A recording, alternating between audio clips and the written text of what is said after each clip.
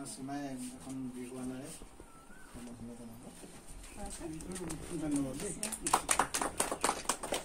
বহাগ বিহুৰ শুভকামনাৰে পৰিয়ালবৃন্দ বেহাৰবাৰী আউটপোষ্ট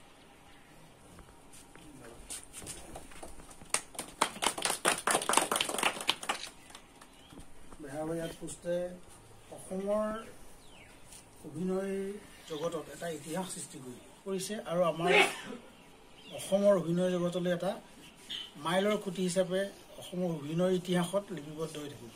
বিশেষকৈ কোনো ধৰণৰ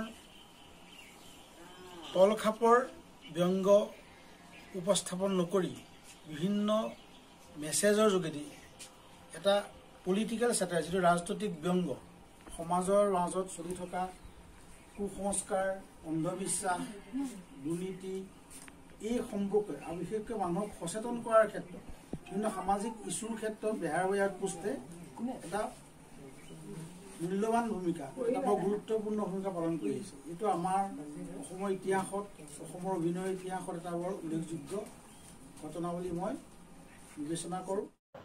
বেহাৰবাৰী আউটপোষ্টৰ দুহেজাৰ খণ্ড সম্পূৰ্ণ হোৱাৰ উপলক্ষে পহিলা বহাগৰ দিনাই গোলাঘাটৰ গ্ৰন্থপ্ৰাণ শ্ৰীযুত পৰশ বৰুৱাদেৱলৈ সম্বৰ্ধনা জ্ঞাপন। ধাৰাবাহিকখন ৰেঙনি টিভি। দুহেজাৰ খণ্ড ইতিমধ্যে অতিক্ৰম কৰিছে।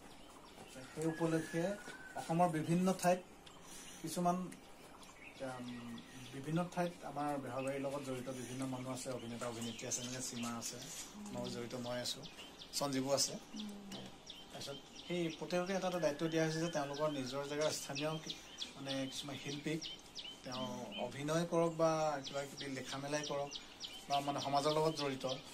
বা কিবা বাদ্যযন্ত্ৰও বজাব পাৰে। প্ৰচাৰ বিমুখ যিসকল তেওঁলোকে প্ৰচাৰত গুৰুত্ব নিদিয়ে নিজৰ কামখিনি আন্তৰিকতাৰে কৰি যায়। তেওঁলোকক আমি মানে বেহৰবাৰীৰ হৈ বিহুৰ শুভেচ্ছাৰ লগত আমি সম্বৰ্ধনা এটা জনাব বিচাৰিছোঁ। এতিয়া পলাশদাই তেখেতৰ বিষয়ে অকণ কৈ দিয়ক আপ- আপোনালোকক আমাৰ বেহাবাৰী আউটপোষ্টৰ টীমটোক আমাৰ পৰকদাৰ ঘৰলৈ অভিনন্দন জনাইছোঁ। পৰকদা আচলতে এনেকুৱা এজন ব্যক্তি আপোনালোকে আমি খুব ভাল পাইছোঁ যিটো সম্পূৰ্ণ পৰকদাৰ জনাবলৈ আহিছে। পৰকদাই গোলাঘাটত ইতিমধ্যে এটি নীৰৱ গ্ৰন্থ বৌদ্ধিক আন্দোলন আৰম্ভ কৰিছে। যিটো প্ৰায় দুটা দশক হ'ব চাগে? দুটা দশক ধৰি তেখেতে এই আন্দোলন নীৰৱে কৰি আছে। আৰু গোলাঘাট জিলাৰ প্ৰায়খিনি শিক্ষিত মানুহক তেখেতে গ্ৰন্থ বিতৰণৰ ব্যৱস্থাৰ জৰিয়তে বৌদ্ধিক বৌদ্ধিকতা প্ৰদান কৰি আহিছে। এই বৌদ্ধিকতা প্ৰদানে তেখেতক ভৱিষ্যত প্ৰজন্মকো তেখেতে অনুপ্ৰাণিত কৰিছে গ্ৰন্থ কাৰণে। গতিকে এনে এজন ব্যক্তি প্ৰচাৰ তেখেতে প্ৰচাৰ সাধাৰণতে ভাল নাপায়। আপোনালোকৰ টিমে সম্বৰ্ধনা জনাবলৈ অহাৰ কাৰণে আমি খুব অতিশয় আনন্দিত। সীমাই এখন বিহুৱানেৰে ধন্যবাদ দেই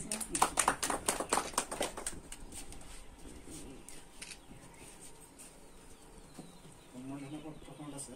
বেহৰবাৰী অফকোচ দুহেজাৰ খণ্ডত আপোনালৈ কৰ্ণিপাত প্ৰতি শ্ৰীযুত পৰশ বৰুৱা গোলাঘাট সেই মহান আপোনাৰ লগতে সমূহ অসমবাসী তথা প্ৰবাসী প্ৰতিজন অসমীয়াৰ মৰম আৰু আশীষ শিৰত লৈ বেহৰবাৰী আউটপোষ্টে অতিক্ৰম কৰিলে গৌৰৱোজ্জ্বল দুহেজাৰ খণ্ড। অসমৰ প্ৰতিটো জাতীয় সমস্যা মনস্তাত্ত্বিক বিষয় সমাজ জীৱনৰ নানান কথা ব্যাং- ব্যংগাত্মকভাৱে উপস্থাপন কৰি ৰাইজৰ হিয়াৰ আমত হৈ পৰা বেহৰবাৰী আউটপোষ্টে আপোনাকো জনাইছে আপোনাৰ সৃষ্টিশীল কৰ্মৰাজিৰ বাবে সশ্ৰদ্ধ প্ৰণাম। আপোনাক দিবলৈ আমাৰ একো নাই। আছে মাথো একাজলি শ্ৰদ্ধা। আপোনাৰ দীৰ্ঘায়ু কামনা কৰিলোঁ। সাংস্কৃতিক আকাশত জিলিকি থাকক আপুনি উজ্জ্বল নক্ষত্ৰ হৈ। বহাগ বিহুৰ শুভকামনাৰে পৰিয়ালবৃন্দ বেহাৰবাৰী আউটপোষ্ট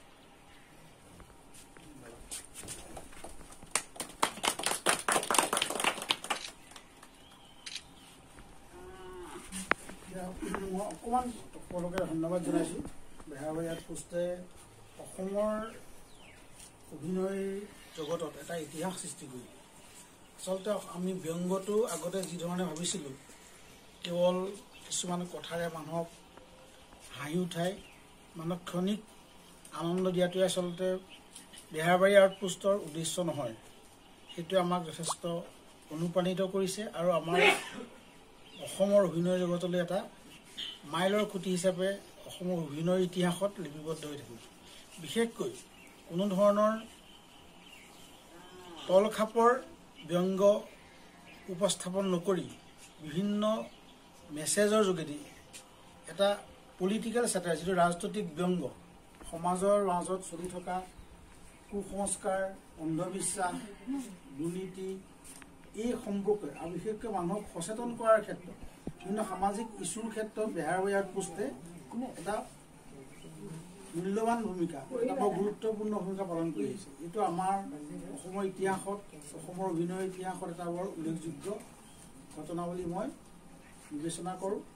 আশা কৰোঁ যে এই যিটো মান মানদণ্ড ভৱিষ্যতেও আৰু বহু হেজাৰ খণ্ড যাতে পাৰ কৰিব পাৰে তাৰ বাবে মই মোৰ আমাৰ তৰফৰ পৰা মই সমূহ পৰিয়াল তথা দৰ্শকৰ তৰফৰ পৰা বেহৰবাৰী আউটপোষ্টক অনুৰোধ জনাইছোঁ আহ্বান জনাইছোঁ।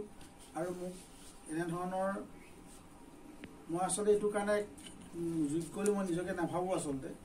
এই তেখেতসকলে বিবেচনা কৰাৰ বাবে সকলো বেহাৰবাৰী আউটপোষ্টৰ সমূহ পৰিয়াললৈ মই ধন্যবাদ জ্ঞাপন কৰি মই এই সম্বৰ্ধনা আন্তৰিকতাৰে গ্ৰহণ কৰিছোঁ।